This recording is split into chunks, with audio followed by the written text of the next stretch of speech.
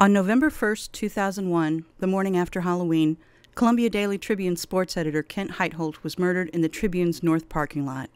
He was beaten 11 times with a tire iron, but died as a result of being strangled with his own belt. For two and a half years, the Columbia Police Department could locate no suspects until Chuck Erickson had a dream he may have been involved. Based almost entirely on this, Erickson and Ryan Ferguson were convicted of the murder and sentenced to lengthy prison terms. This presentation will examine the ever changing story of Michael Boyd, a co worker who worked under Heitholt. Despite his inability to keep the details of his encounter with the victim minutes before his death straight, he was never considered a suspect.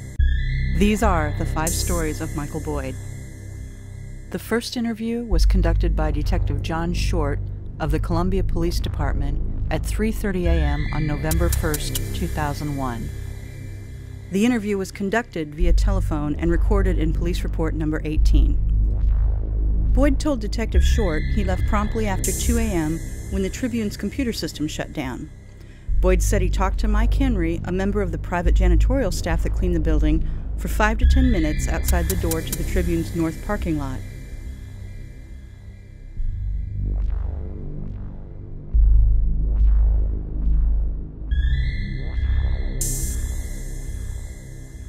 Boyd said as the two were talking, Ken Heitholt walked past them and out to his vehicle.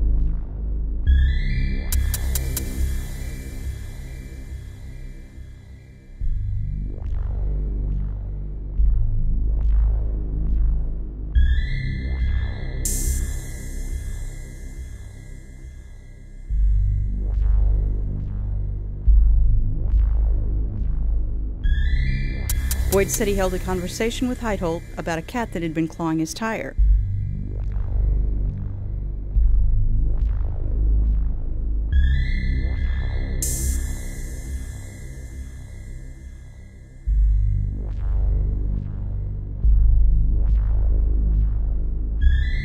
Boyd said that after the conversation ended, he went to his car and left the parking lot at about 2:20 a.m.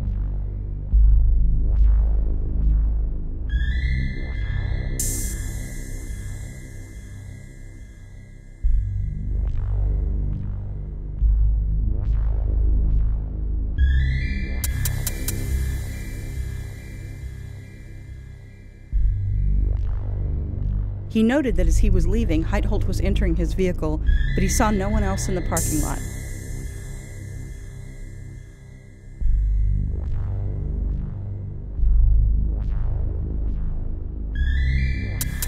At 2:26 a.m., 911 was alerted to Heitholt's lifeless body.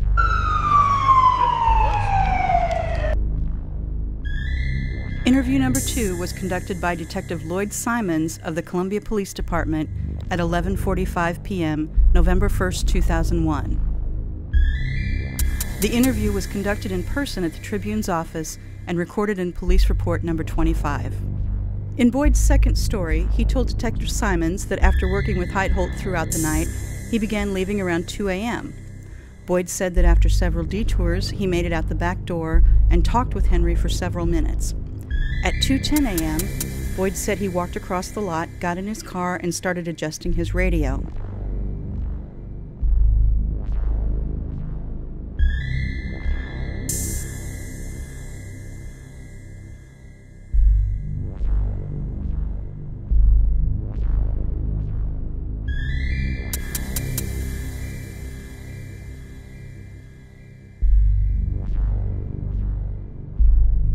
Boyd said that after doing this for two to three minutes, he observed Heitholt emerge from the building.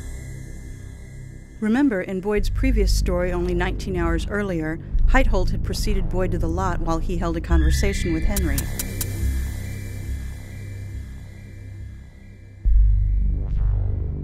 Boyd said he backed his car up, drove south through the lot, pulled up to Heitholt, and the two held a three to five minute conversation.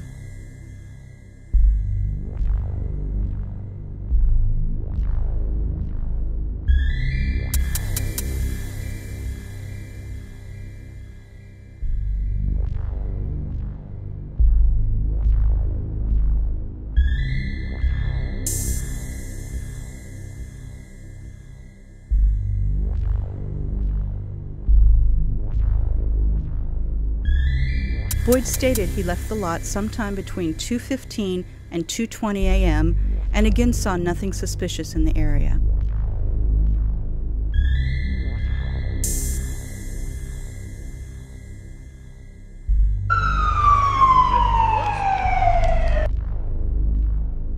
Interview number three was conducted by private investigator Jim Miller on February 14, 2005.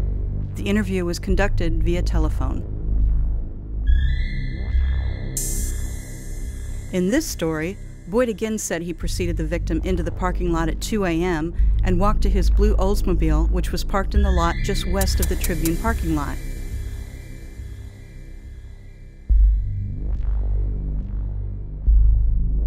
In this version, Boyd said he went to his car, which was parked facing in a southeast direction, giving clear view of the Tribune's back door.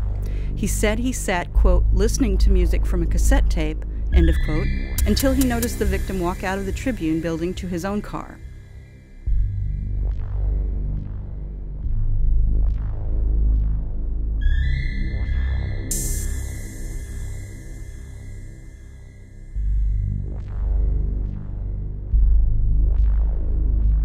He said that upon seeing Heitholt, Boyd drove south to the alley, then east, then north, stopping behind Mr. Heitholt's car, where they engaged in a short conversation between 2:10 and 2:15 a.m., lasting approximately 1 to 2 minutes.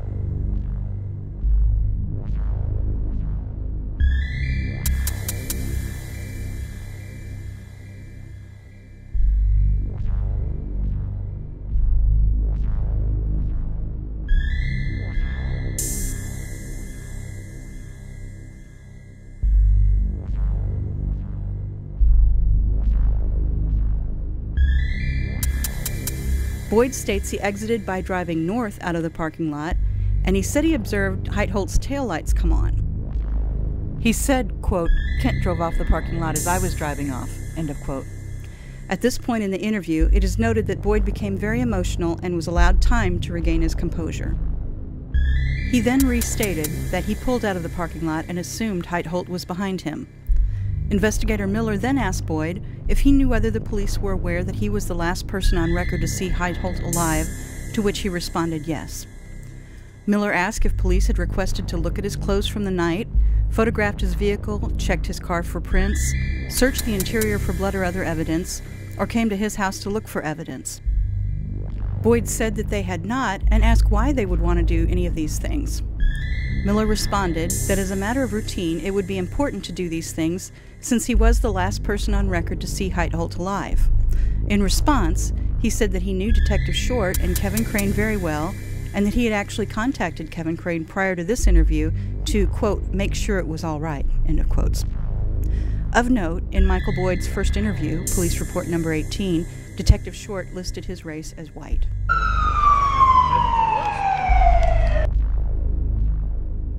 Interview number four was conducted by Boone County Prosecutor's Office lead investigator Bill Haws on July 24, 2005. The interview was conducted in person. In this report, Boyd acknowledged police reports number 18 and number 25 without a timeline but added two crucial new details.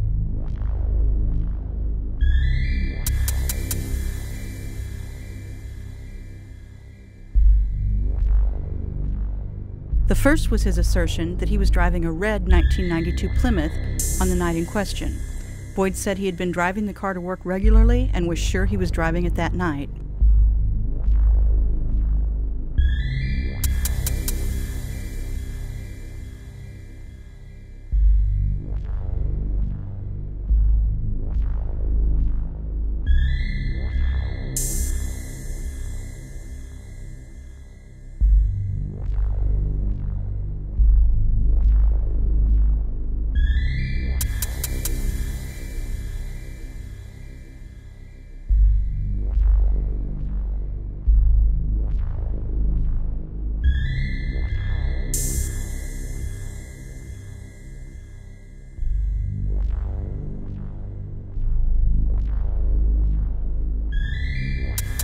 Second was that after talking to Heitholt, Boyd now reported seeing two college aged males standing near a set of dumpsters to his right as he turned from the Tribune parking lot into the alley leading west toward Providence. Boyd said he could not identify the individuals or describe their clothing, but told Haws that he thought nothing of it because they looked, quote, all right.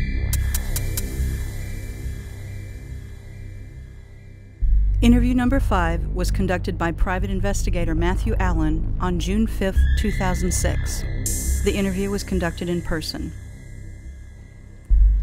This time, Boyd says he didn't leave the Tribune building until 2:10 a.m., at which point he said that he sat in his car listening to three or four songs on the radio before Heitholt exited the building.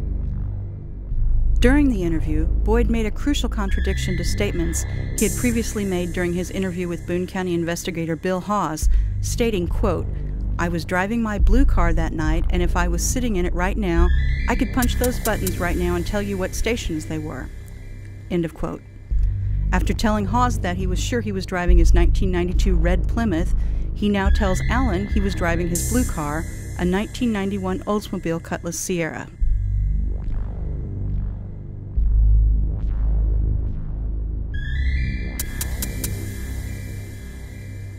Three to four songs would now put the time that Boyd said Heitholt exited the building at about 2.20 a.m. Boyd said the two had a four to five minute conversation before he turned west down the alley toward Providence.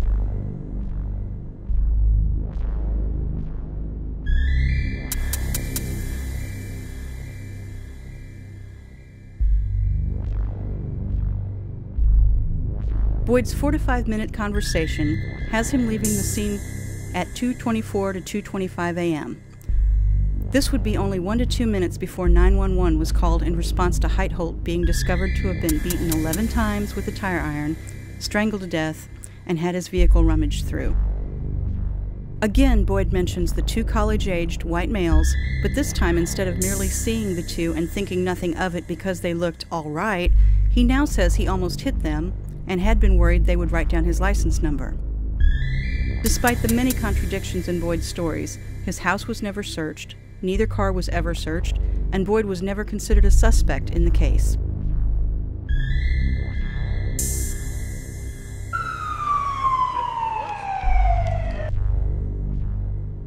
Attempts to locate Boyd's blue Oldsmobile have been unsuccessful. Boyd claims he traded the car into Enterprise Rent-A-Car in the mid-2000s. However, Enterprise has no record of this, and the Missouri Department of Revenue showed the car still titled to Boyd as late as 2010. For more information on this case, visit freeryanferguson.com.